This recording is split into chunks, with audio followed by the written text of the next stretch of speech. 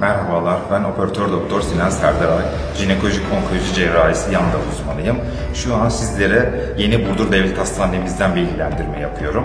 Hastanemizde 5 aydır jinekolojik onkoloji cerrahisi adına birçok vaka yaptık. Hastaların tedavisini, cerrahi tedavilerini ve takiplerini yapmaktayız. Bu konuda size biraz bilgi vermek istiyorum. Endometrium SH gibi rahim duvarı kanseri, yumurtalık kanserleri, meme ile ilgili olabilecek bütün taramalar, testleri yapabilmekteyiz. Kadın kanserleriyle ilgili tüm kanserlerin takibini, tedavisini, taramalarını merkezimizde yapıyoruz. Hastanemizin imkanlarını kullanarak hastanemizde yaptığımız tedavilerle ilgili il dışından, bölgeden de hastalarımızı kabul ettik.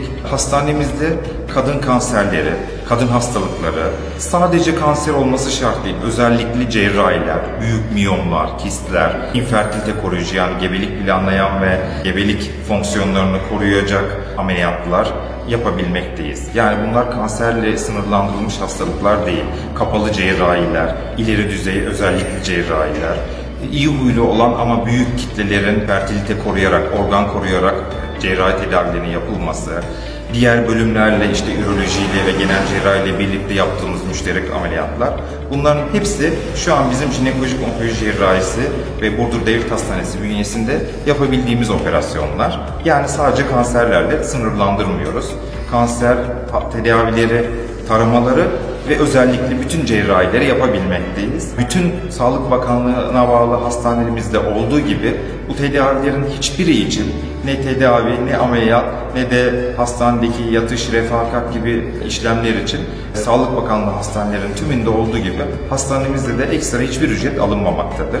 Benim bu konuda sizlere önerim, çağrım, hastanemizin bu imkanlarından faydalanmanızı ve sağlıklı olduğunuzun teyidini veya varsa bu konularla ilgili herhangi bir şikayetiniz bu imkanlardan faydalanarak bu tedavilerinizi aksatmadan yaptırmanızı öneririm.